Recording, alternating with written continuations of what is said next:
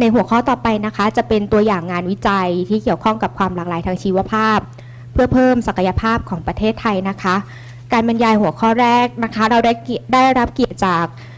ผู้ช่วยศาสตราจารย์ ดร รัชชาชัยชนะ อาจารย์ประจำภาควิชา เทคโนโลยีและการจัดการสิ่งแวดล้อม คณะสิ่งแวดล้อม มหาวิทยาลัยเกษตรศาสตร์ วันนี้นะคะ อาจารย์จะมาเล่าให้ฟังถึงงานวิจัย ที่อาจารย์ทำเกี่ยวกับการประเมินผลกระทบด้านความหลากหลายทางชีวภาพ เพื่อความยั่งยืนของ ข้าวหอมมะลิอินทรีย์ค่ะ ขอเรียนเชิญอาจารย์ค่ะ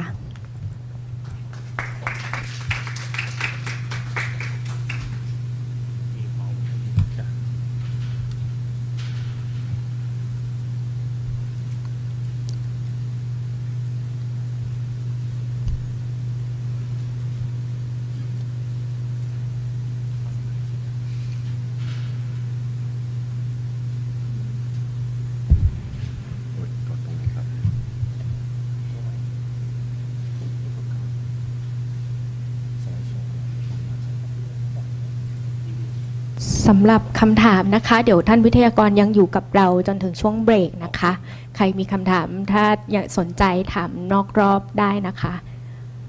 ช่วงท้ายการบรรยายถ้าเรายังพอมีเวลาเราจะเปิดฟอร์ให้ถามนะคะ ต้องขออภัยด้วยเนื่องจากเช้านี้เราเริ่มเลทนิดนึงนะคะ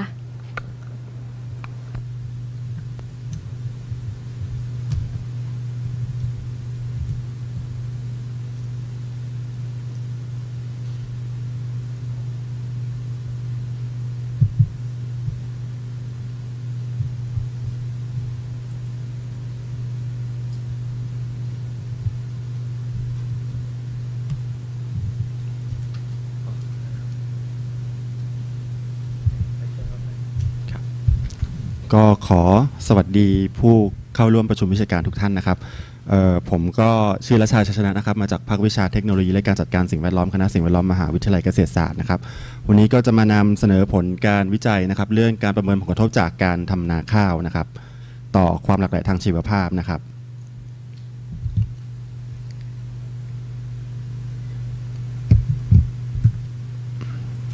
งานวิจัยชิ้นนี้นะครับเป็น ส่วนหนึ่งของโครงการวิจัยการประเมินวัฏจักรชีวิตผลิตภัณฑ์ข้าวหอมมะลิอินทรีย์เพื่อจัดทำข้อมูลวัฏจักรชีวิต และดำเนินการจัดทำฉลากสิ่งแวดล้อมนะครับของผลิตภัณฑ์ที่เเรามีการประเมินผลกระทบ ที่เกิดขึ้นกับความหลากหลายทางชีวภาพด้วยนะครับ โดยมีผู้ช่วยศาสตราจารย์ดรรัตนวันมั่งคั่งนะครับเป็นหัวหน้าโครงการวิจัยนะครับอาจารย์สังกัดคณะสิ่งแวดล้อม มีรองศาสตราจารย์ดรสรัญญาวัชโรไทยจากคณะวิทยาศาสตร์นะครับอาจารย์จะดูเรื่องของความหลากหลายของพืชในระบบนิเวศนาข้าวนะครับมีรองศาสตราจารย์ดรพัทราเพ่งธรรมกิรตินะครับอาจารย์จะทำเรื่องของการปลดปล่อยแก๊สมีเทน จากพื้นที่นาข้าวอินทรีย์นะครับแล้วก็ผมจะดูเรื่องของการประเมินเปรียบเทียบความหลากหลายทางชีวภาพระหว่างนาข้าวอินทรีย์แล้วก็นาข้าวเคมีนะครับ แล้วก็มีทีมวิจัยจากศูนย์เชี่ยวชาญเฉพาะทางด้านกลยุทธ์ธุรกิจที่เป็นมิตรต่อสิ่งแวดล้อมนะครับช่วยในการเก็บข้อมูลภาคสนามด้วยครับ ที่มาและความสำคัญของงานวิจัยในครั้งนี้นะครับ เนื่องจากประเทศไทยเนี่ยเราก็รู้อยู่แล้วว่าเป็นประเทศหลักที่เราส่งออกข้าวไปขายยังต่างประเทศนะครับ ทีนี้การทำนาโดยส่วนใหญ่ของประเทศเนี่ยเป็นการทำนาโดยการใช้สารเคมีนะครับ มีการใช้สารกำจัดวัชพืช มีการใช้สารปราบศัตรูพืชรวมทั้งปุ๋ยเคมีต่างๆ ซึ่ง สารเคมีเหล่านี้นะครับ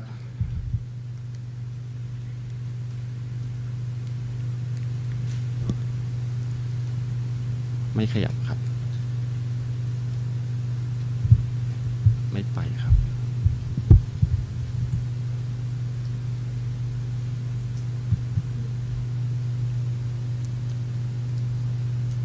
ขยับแต่ข้างในเทคนิคข้อพอเบมขอเวลาแป๊บหนึ่งนะครับ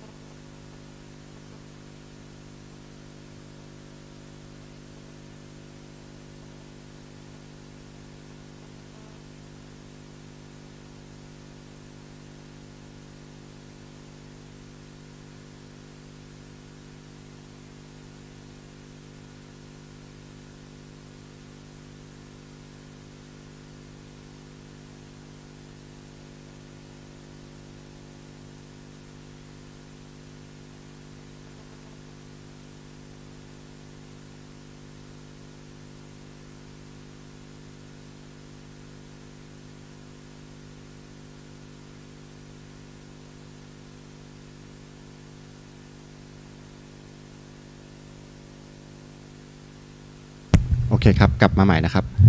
ก็ประเทศเราเป็นประเทศที่ผลิตข้าวที่สำคัญนะครับ แต่ปัจจุบันเนี่ยพื้นที่นาข้าวส่วนใหญ่เนี่ยเป็นพื้นที่นาข้าวเคมีที่มีการใช้ปุ๋ย แล้วก็มีการใช้สารเคมีกันเยอะนะครับ จากข้อมูลของกรมวิชาการเกษตรในปี 2552 นะครับพบว่าเรานำเข้าปุ๋ยเคมี 3.8 ล้านตันนะครับแล้วก็มีการนำเข้าสารกำจัดศัตรูพืช แล้วก็สารกำจัดวัชพืชเนี่ยประมาณ 1 0 0 0 0แสน10,000 ตันนะครับซึ่งปริมาณเนี่ยเพิ่มขึ้น 3 เท่ามาเปรียบเทียบกับเมื่อ 10 ปีที่แล้วนะครับ เพราะฉะนั้นก็เลยกลายเป็นปัญหาที่สำคัญนะครับที่เกิดจากผลกระทบของสารเคมีเหล่านี้ต่อระบบนิเวศนะครับ ซึ่งจะส่งผลต่อเรื่องของการปนเปื้อนของสารเคมีที่ถูกกระแสน้ำพัดพาไปสู่แหล่งน้ำผิวดิน แล้วก็แหล่งน้ำใต้ดินนะครับทำลายระบบนิเวศแล้วก็ความหลากหลายทางชีวภาพนะครับทำให้แมลงศัตรูพืชเนี่ยดื้อยานะครับทำให้เราจะต้องใช้สารเคมีเนี่ยในปริมาณที่เพิ่มมากขึ้นนะครับก็จะต้องเสียเงินนำเข้าเพิ่มมากขึ้นนะครับที่สำคัญก็คือว่าสารเคมีบางตัวที่เราใช้นะครับมันไปทำลาย ตัวห้ามตัวห้ามก็คือศัตรูธรรมชาติที่ที่ที่เรามีอยู่แล้วที่ไปทำลายพวกเอ่อแมลงศัตรูพืชนะครับ ก็ทำให้เราสูญเสียโอกาสตรงนี้ไปนะครับ และประการที่สำคัญที่สุดก็คือเรื่องของสุขภาพอนามัยของเกษตรกรนะครับ ที่เวลาฉีดพ่นก็อาจจะได้รับการปนเปื้อนของสารเคมี แล้วก็อาจจะมีการสะสมของสารเคมีเหล่านี้ในห่วงโซ่อาหารนะครับ ดังนั้นก็เลยมีกระแสเรื่องของการส่งเสริมการผลิต ข้าวแบบอินทรีย์ขึ้นมานะครับ เพื่อจะลดการใช้สารเคมีนะครับ โดยการหันมาใช้ปุ๋ยคอก ปุ๋ยหมัก ปุ๋ยพืชสด แล้วก็ใช้ตัวห้ามหรือว่าแมลงธรรมชาติในการควบคุมศัตรูพืชนะครับ หรือว่าใช้แรงงานคนนะครับ รวมถึงเรื่องของการใช้เมล็ดพันธุ์ข้าวที่ปนที่ไม่มีการปนเปื้อน แล้วก็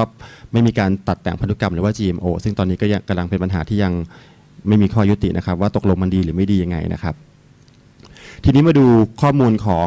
พื้นที่นาข้าวอินทรีย์ของประเทศไทยบ้างนะครับ ปัจจุบันนี้คือ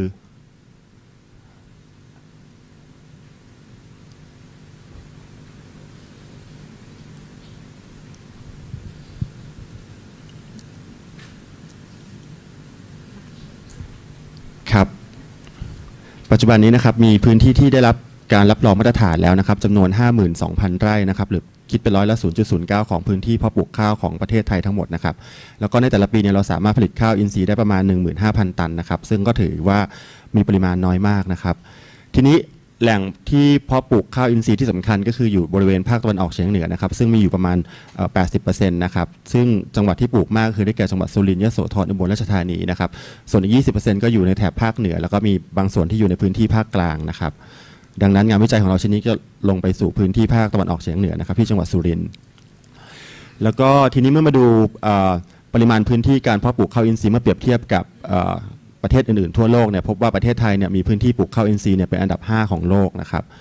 แต่ที่สำคัญก็คือว่าถึงแม้ว่าเราจะมีพื้นที่ปลูกข้าวเป็นอันดับ 5 แต่ปริมาณผลผลิตข้าวอินทรีย์ที่เราส่งออกเนี่ยเราเป็นอันดับหนึ่งของโลกนะครับที่เป็นชนิดเพราะว่าประเทศอื่นๆ อย่างเช่นประเทศจีน อินโดนีเซีย ฟิลิปปินส์เกาหลีใต้เนี่ยส่วนใหญ่เขาผลิตแล้วเขา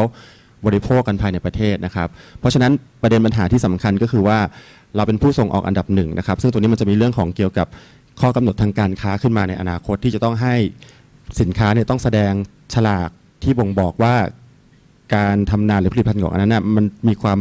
มีผลกระทบต่อสิ่งแวดล้อมเนี่ยมากน้อยแค่ไหนนะครับ แล้วก็เมื่อเราดูปริมาณการผลิตข้าวอินทรีย์นะครับจากข้อมูลของมูลนิธิสายใยแผ่นดินหรือว่า Green Net เนี่ยพบว่ามีปริมาณเนี่ยเพิ่มขึ้นอย่างต่อเนื่องนะครับ โดยเฉพาะอย่างยิ่งในช่วงปี 2552 ซึ่งมีปริมาณเพิ่มขึ้นมาก เมื่อเปรียบเทียบกับปี 2551 นะครับถึง 2 เท่าด้วยกัน ทั้งนี้เพราะว่ามีเกษตรกรเนี่ยให้ความสนใจแล้วก็มีการลงทะเบียนในการที่จะปลูกข้าวอินทรีย์เพิ่มมากขึ้นนะครับ ปัจจุบันก็มีจำนวนประมาณ 5,358 ฟาร์มด้วยกันนะครับ อันนี้เป็นข้อมูลปริมาณผลผลิตข้าวอินทรีย์นะครับตั้งแต่ปี 47 ถึงปี 52 อันนี้ก็เป็นประเด็นหนึ่งนะครับที่เราก็ต้องอมาศึกษากันว่าในพื้นที่ที่ปลูกข้าวอินทรีย์เนี่ยเรื่องของความหลากหลายทางชีวภาพเนี่ยเป็นยังไงเมื่อเปรียบเทียบกับพื้นที่ที่ ยังใช้สารเคมีแล้วก็สารกำจัดวัชพืชอยู่นะครับ ประเด็นที่สำคัญอีกประเด็นหนึ่งเรื่องของการศึกษาในครั้งนี้ก็คือ ปัจจุบันเนี่ยการส่งออกสินค้าไปตลาดต่างประเทศ โดยเฉพาะยิ่งในยุโรปนะครับเขามีข้อกำหนดว่าผลิตภัณฑ์ที่ส่งออกไปขายเนี่ยจะต้องแสดงข้อมูลฉลากcarbon footprint footprint น้ำแล้วก็ footprint ความหลากหลายทางชีวภาพ ปัจจุบันเนี่ย footprint ความหลากหลายทางชีวภาพเนี่ยยังไม่ได้เป็นข้อกำหนดที่บังคับใช้นะครับมีแต่เฉพาะ carbon footprint ที่แสดงว่าผลิตภัณฑ์ที่เราส่งไปขายเนี่ยมันมีการปลดปล่อย CO2 ไปเท่าไหร่ มันทำลายสิ่งแวดล้อมมากขึ้นแค่ไหนนะครับโดยเฉพาะอย่างยิ่งประเทศฝรั่งเศสนะครับเขาก็กำลังจะกำหนดออกเป็นมาตรการบังคับเป็นกฎหมายแล้ว เพราะฉะนั้นในอีกไม่กี่ปีข้างหน้า ถ้าไทยจะส่งผลิตภัณฑ์อะไรออกไปนะครับ ถ้าเราไม่ได้เตรียมตัวตรงนี้เราก็จะเสียเปรียบหรือว่าเสียโอกาสทางการค้านะครับแล้วก็ยังมีประเทศอีกหลายประเทศในยุโรป อเมริกาแคนาดาแล้วก็ญี่ปุ่นนะครับซึ่งเขาก็มีการคิดค้นฉลากฟุตปรินนิเวศหรือว่า ฟุตปรินความหลากหลายทางชีวภาพขึ้นมา เพราะฉะนั้นเราในฐานะที่เป็นผู้ส่งออกข้าวที่สำคัญ เราจะไม่ทำอะไรเลยหรือ เราน่าจะต้องเป็นผู้นำที่จะต้องคิดค้นหรือว่าหาวิธีการในการที่จะประเมินผลกระทบจากผลิตภัณฑ์นาข้าวของเราต่อความหลากหลายทางชีวภาพนะครับ อันนี้ก็เลยกลายเป็นโจทย์วิจัยที่สำคัญของงานวิจัยในเรื่องนี้นะครับ เพราะว่า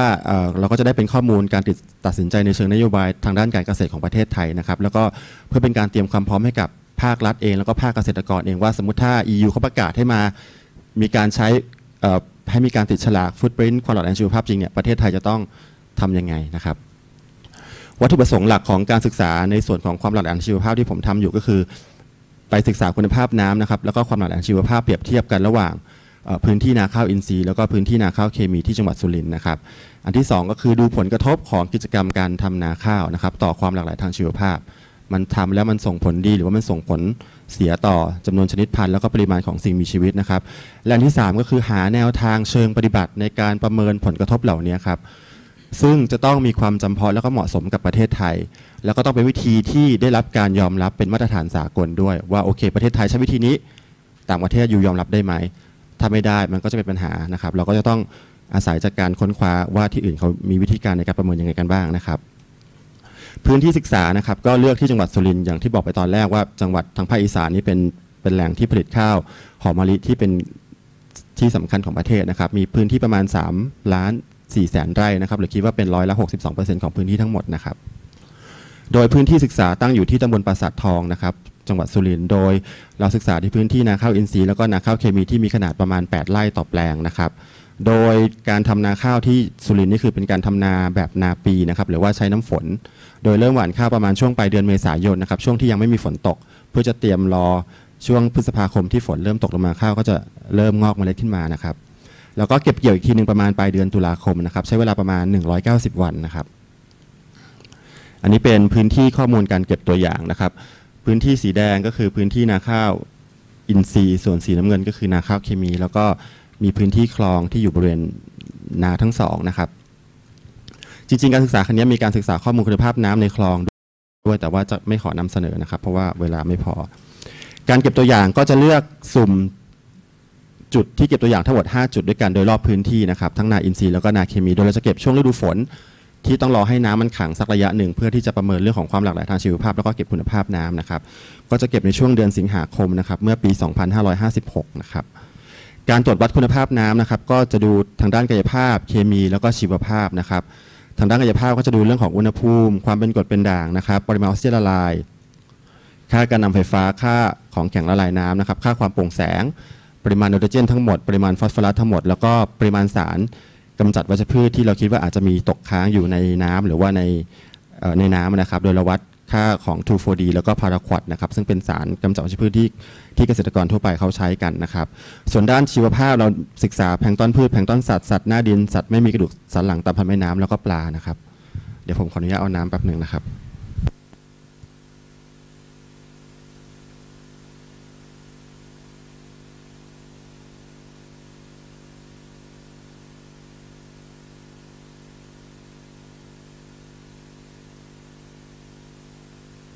อันนี้ก็เป็นภาพที่เราลงพื้นที่เก็บตัวอย่างกันนะครับ ก็จะมีนิสิตปริญญาตรีกับปริญญาโทช่วยเก็บข้อมูลนะครับ ก็คุณภาพน้ำเราก็จะมีการตรวจวัดในพื้นที่นะครับ แล้วก็มีการนำมาวิเคราะห์ในห้องปฏิบัติการนะครับ ส่วนการเก็บตัวอย่างพวกแพงต้นพืชแพงต้นสัตว์ก็ใช้แพงต้นเน็ตนะครับ โดยการตักน้ำแล้วก็กรองไปในพื้นที่นะครับ แล้วก็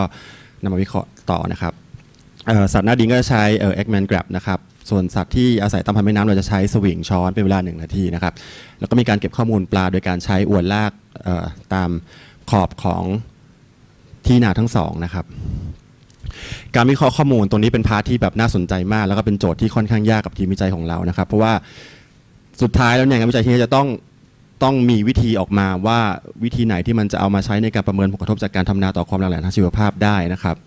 แล้วก็วิธีการนี้จะต้องเป็นวิธีการที่ต้องได้รับการยอมรับด้วย แล้วก็ประเทศไทยทำได้ไหมสมมติถ้าเราไม่มีแล้วเราไปเอาของคนอื่นมาใช้นะครับ ซึ่งจากการหาข้อมูลรีวิวข้อมูลแล้วก็ได้คำตอบมา 2 วิธีด้วยกัน วิธีแรกก็คือภาษาอังกฤษเรียกว่า Biological Monitoring Working Party นะครับหรือว่า BMWP ซึ่งเป็นวิธีที่ UN กับ U เอ่อ UNEP นะครับ United Nations Environment Program นะครับแล้วก็ WHO เขาก็ก็รับรองว่าวิธีนี้เป็นวิธีที่สามารถเอามาใช้ในการประเมินเรื่องของ Habitat ที่ส่งผลต่อความหลากหลายทางชีวภาพได้นะครับ หลักการของมันก็คือ เราเก็บตัวอย่างสิ่งมีชีวิตกลุ่มของสัตว์ไม่มีกระดูกสันหลังนะครับ แล้วก็มีการให้คะแนน sensitivity สัตว์ไม่มีกระดูกสันหลังเนี่ยมันจะมีความคงทนต่อสภาวะมลพิษที่แตกต่างกันนะครับ สัตว์ที่มีความคงทนต่อภาวะมลพิษมากเนี่ยเราจะให้คะแนนต่ำส่วนสัตว์ที่มีความคงทนหรือว่ามีความเซนซิทีฟต่อภาวะมลพิษสูงเนี่ยเราจะให้คะแนนสูงนะครับ แล้วก็เอามาหารด้วยจำนวน Family ของสิ่งมีชีวิตที่เราพบตรงนั้นนะครับ ก็จะได้เป็นค่า ASPT หรือว่า Average Score per Taxon ออกมานะครับ อันนี้เป็นตัวอย่างตารางที่เราใช้ในการให้คะแนน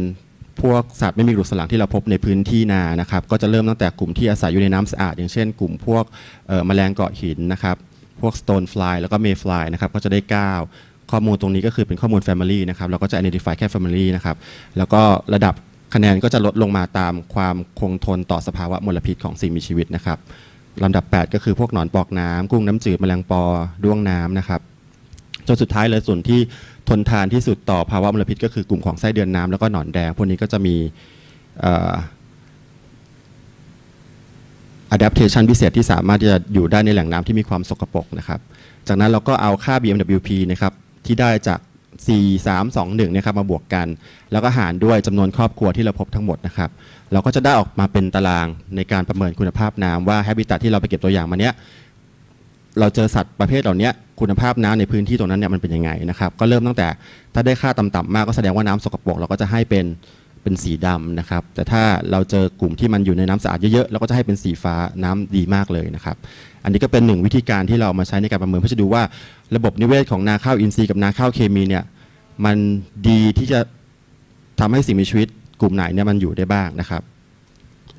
วิธีการที่สองนะครับเป็นวิธีการ ที่เรียกว่า SALCA Biodiversity นะครับ ย่อมาจาก Swiss Agricultural Life Cycle Assessment Biodiversity นะครับ เป็นวิธีการที่คิดค้นจากโดยสถานีวิจัยด้านการเกษตรของประเทศสวิตเซอร์แลนด์นะครับ วิธีการนี้เขาทำในระบบนิเวศบกทำในพื้นที่ทุ่งหญ้านะครับ แต่เรานะ adapt เอาหลักการเข้ามาใช้สำหรับระบบนิเวศน้ำนะครับ ก็หลักการอันนี้ก็คือน่าสนใจมากเลยเขาจะดูกิจกรรมการทำกิจกรรมทุกอย่างที่อยู่ในพื้นที่ทางการเกษตรว่ามันส่งผล ต่อการลดหรือว่าเพิ่มขึ้นของความหลากหลายทางชีวภาพยังไงบ้างนะครับอย่างเช่นเรื่องของการไถพรวนดิน การตัดหญ้าการใส่ปุ๋ยการใช้สารกำจัดวัชพืชนะครับ อันนี้เป็นแผนภาพแสดงกิจกรรมนะครับ agricultural activity นะครับ แล้วก็ biodiversity indicator species group เขาก็ต้องมีการ identify species group ออกมาว่าเราจะประเมินกลุ่มไหนบ้างที่เราคิดว่าจะได้รับผลกระทบจากกิจกรรมของการทำการเกษตรนะครับเขาก็เลือกมาทั้งหมด 11 กลุ่มด้วยกัน อันนี้เป็นพืชบกเอออันนี้เป็นกลุ่มที่อยู่บนบกนะครับ ก็ได้แก่พวกพืชนก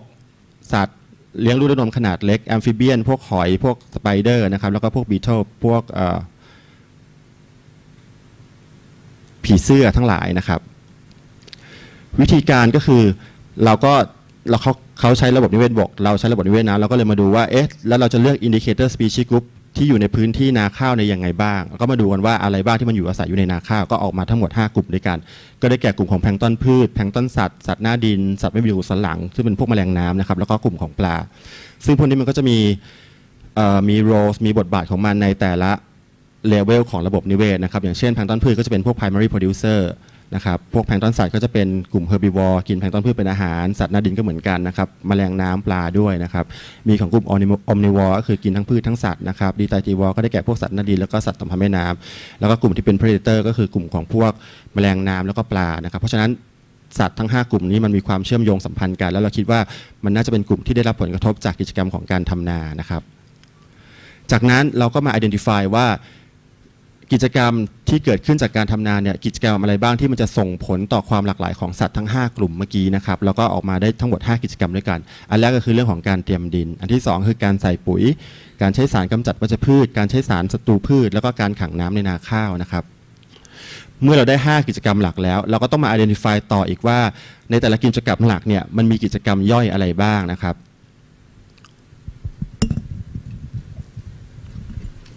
อย่างเช่น การใช้สารกำจัดวัชพืช ความถี่ของการใช้ของนาแต่ละประเภทเนี่ยบ่อยแค่ไหน ปริมาณที่ใช้มากน้อยแค่ไหนนะครับ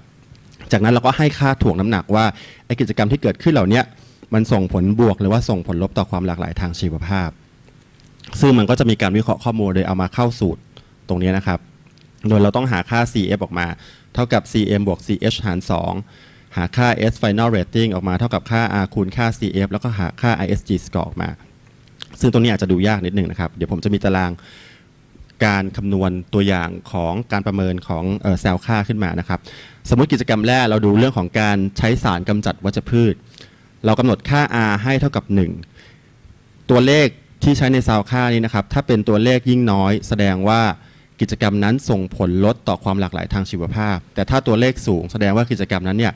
ช่วยโปรโมทความหลากหลายทางชีวภาพ เราให้ค่า R เท่ากับ1นะครับ ก็บอกว่าผลกระทบของกิจกรรมต่อความหลากหลายทางชีวภาพเนี่ยมีค่ามากเพราะมีการใช้สารกำจัดวัชพืชซึ่งมันมีความเป็นพิษต่อพวกแพลงก์ตอนสัตว์นะครับแล้วก็ให้กำหนดค่า CM CM ก็คือความสำคัญของกิจกรรมนี้มันมีผลต่อสิ่งมีชีวิตมากน้อยขนาดไหนนะครับเราก็บอกว่ากิจกรรมนี้ไม่มีความสำคัญต่อความหลากหลายทางชีวภาพนะครับ ความถี่แล้วก็เราก็มาดู option ของของการใช้สารกำจัดวัชพืชโดยแบ่งเป็น 3 3 option หลักๆ ก็คือความถี่ในการใช้ประเภทของสารกำจัดวัชพืช แล้วก็ปริมาณที่ใช้นะครับ จากนั้นเราก็มาให้คะแนนออปชันเหล่านี้นะครับว่าถ้าเราใช้ความถี่ศูนย์ครั้ง เราก็จะให้คะแนน 5 ซึ่งคะแนน 5 แปลแปลความหมายว่าไม่ส่งผลกระทบ ถ้าเราใช้มากกว่า 5 ครั้ง คะแนนก็จะลดลง เพราะว่ายิ่งคะแนนยิ่งต่ำก็จะยิ่งมีผลกระทบต่อความหลากหลายทางชีวภาพมากนะครับ จากนั้นเราก็มาคำนวณหาค่า CF CF ก็เกิดจากค่า CH ช่องนี้นะครับ บวกกับค่า CM หาร 2 ก็จะได้ออกมาเท่ากับ 2.5 แล้วจากนั้นก็เอาค่า CF ที่ได้เนี่ยมาคูณกับค่า R ซึ่งเราเวทติ้งว่ากิจกรรมเนี้ยมันมีผลกระทบต่อความหลากหลายทางชีวภาพมาก ก็จะได้เป็นค่าออกมาเท่ากับ 2.5 จากนั้นเนี่ยเราก็ประเมินทุก ๆ กิจกรรมย่อยเหล่านี้นะครับ แล้วก็เอาค่าสุดท้ายที่ได้ค่า S เนี่ยมาหาค่าเฉลี่ยออกมา ก็จะได้เป็น กิจกรรมที่เกิดขึ้นจากการใช้สารกำจัดวัชพืชของนาอินทรีย์เท่ากับ 2.5 แล้วก็ของนาเคมี 1.8 นั่นแสดงว่ากิจกรรมนาอินทรีย์เนี่ยส่งผลบวกต่อความหลากหลายทางชีวภาพเนี่ยมากกว่ากิจกรรมของนาเคมี ซึ่งได้ค่าคะแนนที่ต่ำกว่า อันนี้ก็จะได้ข้อมูลออกมาในเชิงปริมาณนะครับ ผลการศึกษาเป็นยังไงบ้างนะครับ อันนี้เป็นข้อมูลคุณภาพน้ำเปรียบเทียบระหว่างนาอินทรีย์แล้วก็นาเคมี ช่วงที่ไปเก็บตัวอย่างนะครับ คุณภาพน้ำโดยรวมอยู่ในเกณฑ์ดี แล้วก็โดยรวมมีคุณภาพที่ใกล้เคียงกันนะครับ โดยความสูงของต้นข้าวที่เราไปเก็บช่วงนั้นก็ประมาณ 1 เมตรนะครับ ความลึกของน้ำก็ประมาณ 27-28 เซนก็พอที่จะเป็นระบบนิเวศที่ให้สิ่งมีชีวิตทั้งหลายอยู่ได้นะครับ แต่ข้อมูลที่เราพบที่แตกต่างกันก็คือเรื่องของปริมาณนิวเทรียนหรือว่าสารอาหารนะครับ เราพบว่าไนโตรเจนทั้งหมดเนี่ย เราพบว่านาอินทรีย์เนี่ยมีปริมาณสูงมากกว่าในนาเคมีนะครับสูงกว่ามากเลยนะครับ แต่ว่าในส่วนของปริมาณฟอสฟอรัสเนี่ยเราพบว่าในนาเคมีเนี่ยสูงกว่าในนาอินทรีย์นะครับ ส่วนการตรวจวัดสารกำจัดสารปราบวัชพืช 2,4-D กับพาราควอดเราพบไม่พบในในนาทั้งสองนะครับสรุปก็คือคุณภาพน้ำอยู่ในเกณฑ์ดีนะครับ ยกเว้นไนโตรเจนที่พบในนาอินทรีย์สูง เราคิดว่ามันน่าจะเป็นผลมาจากปุ๋ยมูลสัตว์ที่เกษตรกรใช้นะครับ ในนาที่เราไปเก็บตัวอย่างนี้เขาใช้อัตรา การใส่ปุ๋ยก็คือ 1.5 ตันต่อไร่นะครับ8ไร่ก็คูณเข้าไปก็เป็น 10 ตัน ปุ๋ยมูลสัตว์เนี่ยมันจะเกิดกระบวนการย่อยสลายช้าๆไม่เหมือนกับปุ๋ยอินทรีย์ที่เออไม่เหมือนกับปุ๋ยเคมีที่มันใส่ไปแล้วมันก็จะละลายน้ำออกไปเร็วเพราะฉะนั้นมันก็เลยทำให้พบปริมาณยังคงอยู่สูงอยู่นะครับเมื่อเปรียบเทียบกับในนาเคมี ส่วนปริมาณฟอสฟอรัสที่พบสูงในนาอินทรีย์ก็คิดว่าคงจะเป็นผลมาจากเอ่อ ปุ๋ยอินทรีย์ที่ปุ๋ยเคมีที่เกษตรกรใช้นะครับรวมถึงค่าการนำไฟฟ้า ซึ่งอาจจะเป็น indicator ของพวกสารเคมีที่เกษตรกรใช้ในแปลงนาด้วยนะครับ ส่วนสารกำจัดศัตรูพืชที่เราไม่พบก็ก็จากการรีวิวก็คือพบว่าสารทั้งสองตัวเนี่ยมี half life หรือว่ามีอัตราการย่อยสลายตัวที่รวดเร็วภายในประมาณ 1 เดือนนะครับมันก็ก็ก็สลายตัวหมดนะครับเราก็เลยตรวจวัดไม่พบเพราะว่าเรามาเก็บในช่วงท้ายๆของการทำนาแล้วนะครับ ก็เลยทำให้ไม่พบนะครับ อันนี้เป็นการเปรียบเทียบข้อมูลคุณภาพน้ำนะครับจากการศึกษากับ เกณฑ์คุณภาพน้ำของกรมประมงนะครับที่บ่งบอกว่าถ้าน้ำมีคุณภาพเหล่านี้แสดงว่ามีผลดีต่อระบบนิเวศนะครับ ซึ่งค่าของเราที่ได้ก็อยู่ในช่วงที่ที่กรมประมงเขาประกาศไว้นะครับ อันนี้ก็เป็นตัวอย่างของสารเคมีที่เกษตรกรใช้นะครับ ก็ได้แก่สารปราบวัชพืชตาช้างแดง แล้วก็ตาหมาดำนะครับ แล้วก็พาราควดตาช้างแดงกับหมาดำนี่คือ 2,4-D นะครับเขาก็จะมีการฉีดพ่นกันในช่วงสัปดาห์ที่ 1 สัปดาห์ที่ 3 แล้วก็สัปดาห์ที่ 9 หลังที่วัชพืชงอก แต่เราไปเก็บตัวอย่างหลังหลังจากนั้นหลาย ๆ เดือนก็เลยทำให้ไม่พบนะครับ ทีนี้มาดูความหลากหลายของสิ่งมีชีวิตที่พบบ้างในพื้นที่นาข้าวอินทรีย์แล้วก็นาข้าวเคมีนะครับ มาดูอันแรกเรื่องของจำนวนชนิดพันธุ์ก่อนนะครับ ดูว่ามีกี่ชนิด ภาพรวมเนี่ยสิ่งมีชีวิตที่พบในพื้นที่นาอินทรีย์เนี่ยจะพบมากกว่าในนาเคมี อย่างเช่นแพลงต้นพืชนาอินทรีย์พบ 85 ชนิด นาเคมีพบ 83 ชนิดนะครับแพลงต้นสัตว์ก็เห็นได้ชัดนะครับนาอินทรีย์พบ 46 นาเคมีพบ 30 ชนิด สัตว์หน้าดิน นาเคมีพบมากกว่านิดหน่อยนะครับ ในภาพรวมก็ก็บอกอย่างนั้นได้นะครับ แต่ว่าสิ่งที่เราเห็นชัดเจนมากยิ่งขึ้นก็คือปริมาณของสิ่งมีชีวิตที่พบนะครับ อย่างเช่นแพลงต้นพืชในนาอินทรีย์พบ 152,000 เซลล์ต่อลิตรในขณะที่นาเคมีพบแค่ 38,000 เซลล์นะครับแพลงต้นสัตว์นี่เห็นได้ชัดมากเลยแตกต่างกัน10 เท่านะครับเราพบ 10,000 ตัวต่อลิตรในขณะที่นาเคมีเราพบแค่พันกว่าตัวเองนะครับ ปริมาณสัตว์หน้าดินอาจจะต่ำกว่าในนาเคมีนิดหน่อยนะครับสัตว์ไม่ดูสลังก็จะพบสูงกว่า แล้วก็รวมถึงปลาด้วยนะครับ แล้วก็ทีนี้มาดูชนิดเด่นนะครับ ว่าแพลงต้นพืชแพลงต้นสัตว์สัตว์หน้าดินแมลงน้ำปลาเนี่ยเราพบชนิดอะไรกันบ้างนะครับ ในนาอินทรีย์ก็จะพบกลุ่มที่เป็นสาหร่ายสีเขียวกับน้ำเงิน ในนาเคมีพบสาหร่ายสีเขียวนะครับแพลงต้นสัตว์ก็จะพบแพลงต้นสัตว์ขนาดเล็กมากๆนะครับพวกโปรโตซัว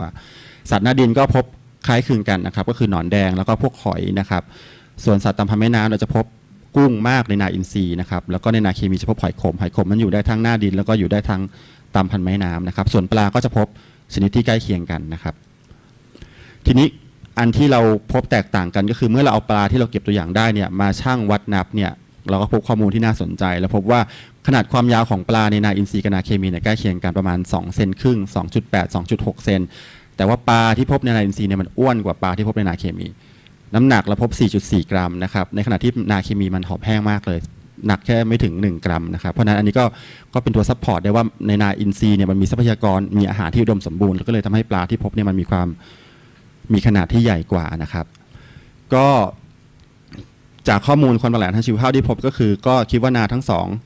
มีสภาพใกล้เคียงกันแต่ว่านาอินทรีย์น่าจะมีสภาพที่เหมาะสมกว่าเพราะว่ามีจำนวนชนิดแล้วก็ปริมาณของสิ่งมีชีวิตที่พบเนี่ยมากกว่านะครับทั้งนี้เป็นเพราะว่าอะไรอาจจะคิดว่าสารเคมีที่ฉีดพ่นในช่วงแรกๆเนี่ยอาจจะมีผลระยะยาว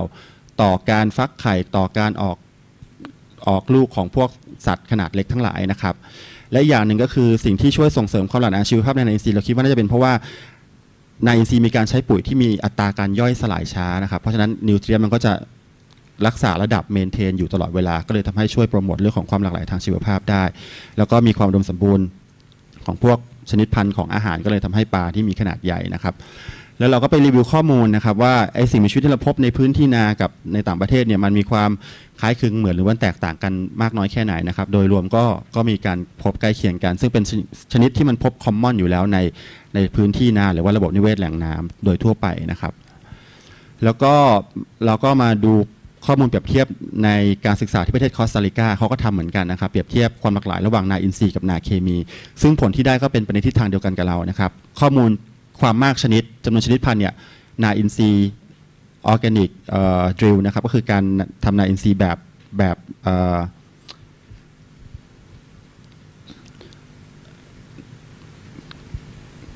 เขาเรียกว่าอะไรมันมีนาหว่านกับนาดำเออครับก็จะเห็นว่า ความแตกต่างก็คือมีแนวโน้มที่สูงกว่า แต่ว่าที่เห็นได้ชัดก็คือเรื่องของความชุกชุม ที่จะพบว่าในนาอินทรีย์เนี่ยมีปริมาณของสิ่งมีชีวิตที่พบในแต่ละชนิดเนี่ยเยอะกว่ามากเลยนะครับ ก็ให้ผลสอดคล้องกัน ซึ่งข้อมูลความหลากหลายทางชีวภาพตรงนี้มันก็จะไปเป็นประโยชน์กับระบบนิเวศในนาอินทรีย์เองอย่างที่อาจารย์เมื่อเช้าพูดไปเรื่องของ ecosystem services นะครับ ซึ่งมันก็จะย้อนกลับมาที่นาอย่างเช่น ก็อาจจะเอามาเป็นอาหารได้ ซึ่งอาหารนี้อาจจะปลอดภัยจากสาร การปนเปื้อนของสารเคมีที่ใช้นะครับหรือจะช่วยในการควบคุมโรคปลากินตัวอ่อนยุงควบคุมศัตรูพืชปลากำจัดวัชพืชน้ำนะครับรวมถึงเรื่องของการเพิ่มปริมาณสารในดินจากพวกสิ่งขับถ่ายจากพวกสิ่งมีชีวิตเหล่านี้นะครับก็ทำให้ช่วยในเรื่องของการเพิ่มผลผลิตในนาข้าวได้นะครับ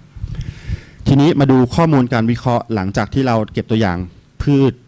แล้วก็พวกสัตว์ทั้งหลายแล้วเอามาใส่ค่าเพื่อคำนวณค่า BMWP นะครับเปรียบเทียบระหว่างนาอินทรีย์กับนาเคมี อันนี้ก็เป็นคะแนนของสิ่งมีชีวิตที่เราพบนะครับ โดยเรารวมคะแนนออกมาสุดท้ายเนี่ยเราพบว่าในนาอินทรีย์เนี่ยเป็นระบบนิเวศที่ support กับสิ่งมีชีวิตที่อาศัยอยู่ในน้ำสะอาด ซึ่งได้คะแนนสูงกว่าในนาเคมีนะครับแล้วก็จัดอยู่ในกลุ่มดี ส่วนนาเคมีอยู่ในกลุ่มค่อนข้างดีนะครับ ซึ่งเราก็เอาผลของเราไปเปรียบเทียบกับในต่างประเทศอีกเช่นกัน ก็พบว่าในพื้นที่นาอินซีนะครับในคอสตาริกาหรือว่าในเชียงใหม่เองเนี่ยค่าที่ได้จากการประเมินเนี่ยจะมีค่าสูงกว่าในนาเคมี ส่วนผลของการใช้การประเมินด้วยวิธีซาวค่า biodiversity นะครับเราก็พบว่าทุกกลุ่มของสิ่งมีชีวิตเลยเนี่ยจะได้คะแนนค่าเสาค่าเนี่ยสูงกว่า ซึ่งคะแนนที่ได้สูงกว่านี้ก็คือเป็นตัวชี้วัดว่ามันช่วยโปรโมทช่วยส่งเสริมความหลากหลายทางชีวภาพ ในขณะที่นาเคมีได้ค่าคะแนนที่ต่ำกว่า ทีนี้เราก็เอาผลไปเปรียบเทียบกับของของเจ้าของแนวคิดที่ใช้ประเมินที่ประเทศสวิตเซอร์แลนด์นะครับเขาก็เอาวิธีเซาข้าวมาใช้ในการประเมินความหลากหลายชีวภาพของระบบนิเวศการทำเขาเรียกว่าเป็น hay production นะครับ เหมือนกับทำฟางข้าว ซึ่งเป็นอาหารสัตว์ที่เก็บไว้ใช้ในช่วงฤดูหนาวนะครับ ซึ่งในแต่ละพื้นที่ของเขาอย่างเช่นพื้นที่ A เนี่ย intensive grassland เขามีการตัดหญ้าตรงนี้5ครั้งต่อปี ในขณะที่พื้นที่ดีเนี่ยมีการรบกวนน้อยที่สุดก็คือมีการตัดหญ้าแค่ 1 ครั้งต่อปี และพบว่าพื้นที่ที่มีการรบกวนน้อยที่สุดเนี่ยจะได้ค่า sulfur biodiversity เนี่ยสูงกว่า ซึ่งก็จะช่วยโปรโมทความหลากหลายทางชีวภาพ มากกว่าพื้นที่ที่มีการรบกวนเนี่ยมากกว่า ซึ่งก็ให้ผลที่สอดคล้องกับการศึกษาของเราในครั้งนี้นะครับ สรุปผลการศึกษาก็คือภาพรวมคุณภาพน้ำมีค่าใกล้เคียงกันนะครับ ในไนโตรเจน ก็จะพบในนาอินทรีย์สูงกว่า ความหลากหลายชีวภาพในนาอินทรีย์ก็มีสูงกว่าทั้งชนิดแล้วก็ปริมาณนะครับค่า Bio Monitoring Working Party ก็พบว่านาอินทรีย์ได้คะแนนสูงกว่านะครับซึ่งก็สอดคล้องกับของในประเทศแล้วก็ต่างประเทศ ทีนี้ก็จะมีเรื่องของข้อดีข้อเสียของการนำสองวิธีนี้มาใช้นะครับ วิธีแรก VMWP ที่บอกว่าค่าที่ได้เนี่ยเราสามารถนำไปเปรียบเทียบกับเกณฑ์คุณภาพน้ำแล้วบอกออกมาได้เลยว่า กิจกรรมตรงนี้มันส่งผลทำให้น้ำดีหรือว่าน้ำเสียนะครับ อันนี้ก็ง่ายนะครับ แต่ข้อจำกัดของมันก็คือการประเมินเนี่ยเป็นการประเมินโดยการใช้สิ่งมีชีวิตเพียงแค่กลุ่มเดียว แล้วใช้สัตว์ไม่มีกระดูกสันหลัง เราไม่ได้ใช้แพลงต้นพืชแพลงต้นสัตว์เราไม่ได้ใช้ปลาเราไม่ได้ใช้พืชน้ำเพราะฉะนั้นมันอาจจะทำให้ไม่สะท้อนกับสิ่งมีชีวิตกลุ่มอื่นที่อาจจะได้รับผลกระทบเหมือนกันนะครับ อันต่อมาก็คือว่าค่า BNPP เนี่ยถ้าจะพัฒนาต่อไปเราอาจจะต้องมีการทำให้ครอบคลุม สิ่งมีชีวิตเนี่ยมากกลุ่มขึ้น และอาจจะต้องมีการเก็บข้อมูลหลาย ๆ ภูมิภาคเพื่อจะมาเปรียบเทียบกันว่าสัตว์ที่เราพบในแต่ละภูมิภาคเนี่ยมันเหมือนมันมีความแตกต่างกันมากน้อยแค่ไหนนะครับ ส่วนของซาวค่านะครับก็พบว่านาอินทรีย์ก็ให้ผลในทางบวกนะครับเพิ่มความหลากหลายทางชีวภาพมากกว่าพื้นที่นาอินทรีย์นะครับเออมากกว่านาเคมี ข้อดีของซาวค่าคือว่าเป็นวิธีการประเมินที่ละเอียดมากนะครับ เพราะเราประเมินทุกกิจกรรมในการทำนาที่เราคิดว่าจะส่งผลกระทบต่อ ความหลากหลายทางชีวภาพนะครับ เพราะฉะนั้นก็จะได้ค่าที่สะท้อนกับความเป็นจริงมากมากนะครับ แต่ข้อจำกัดของวิธีนี้ก็คือการประเมินแบบซาวค่าเนี่ยครับเราจะใช้ความคิดเห็นจากผู้เชี่ยวชาญ อย่างเช่นเราจะบอกว่าการใส่ปุ๋ยเนี่ยผู้เชี่ยวชาญคิดว่ามันก่อให้เกิดผลดีหรือว่าผลลบต่อความหลากหลายทางชีวภาพ เพราะฉะนั้นตรงนี้มันอาจจะได้คะแนนที่มีความแปรปรวนสูงตามความเชี่ยวชาญ หรือว่าตามประสบการณ์ของแต่ละผู้เชี่ยวชาญ เพราะฉะนั้นวิธีการแก้ไขก็คืออาจจะต้องมีการเก็บข้อมูลภาคสนามยืนยันด้วยว่า ผลจากการประเมินกับผลจาก ภาคสนามเนี่ยมันไปในทิศทางเดียวกันไหม อย่างเช่นประเมินแล้วมันลด แต่พอไปวัดภาคสนามจริงมันกลับเพิ่ม แสดงว่ามีปัญหาแล้วนะครับ ก็อาจจะต้องมีการพัฒนาข้อมูลตัวนี้เพิ่มเติมต่อไปนะครับ สรุปผลการศึกษาก็คือทั้ง 2 วิธีการนี้สามารถจะนำมาใช้กับประเทศไทยได้นะครับ แต่ว่าการศึกษาครั้งนี้เป็นการศึกษาเบื้องต้นเท่านั้น เพราะฉะนั้นก็คงจะต้องมีการพัฒนารายละเอียดให้เหมาะสมกับประเทศไทยมากยิ่งขึ้น สุดท้ายเราก็จะเห็นภาพนี้นะครับ เวลาเราส่งข้าวไปขายยังต่างประเทศ อันแรกก็คือการใช้ BMWP ภาพ หมายเลขหนึ่งนี่คือนาข้าวอินทรีย์ก็จะได้เห็นว่าน้ำมันใสกว่านาข้าวเคมี อันที่สองก็คือเป็นค่าเซาค่านะครับได้คะแนนเหมือนกับคล้ายๆกับให้คาร์บอนฟุตพิ้นนะครับ10.21 มีค่าสูงกว่านาข้าวเคมีที่ได้คะแนนแค่ 8.77 ผู้บริโภคก็สามารถจะตัดสินใจได้เลยว่า เราต้องการจะเลือกซื้อข้าวแบบไหนที่มันมีผลกระทบทางบวกหรือว่าทางลบต่อสิ่งแวดล้อมนะครับ อันนี้เป็นเอกสารนางอิงนะครับ สุดท้ายก็ขอขอบคุณ สปทชนะครับที่ให้ทุนวิจัยในการทำ การศึกษาในครั้งนี้ครับขอบคุณอาจารย์วีปรากฏรัตน์นะครับเอื้อเฟื้อพื้นที่ศึกษานะครับ แล้วก็ทีมนักวิจัยของมอเกษตรครับ ขอบคุณมากครับค่ะขอเรียนเชิญ ดรจิตตินะคะ มอบของที่ระลึกให้ผู้ช่วยศาสตราจารย์ ดรรัชชานะคะทางงานของอาจารย์นะคะ ก็ดูน่าสนใจมากเลยเนาะเราจะมีมาตรฐานในการประเมิน biodiversity ของประเทศไทยนะคะ ตามที่อาจารย์ได้เรียนให้ทราบว่าอันนี้เป็น เป็นงานวิจัยเบื้องต้นนะคะ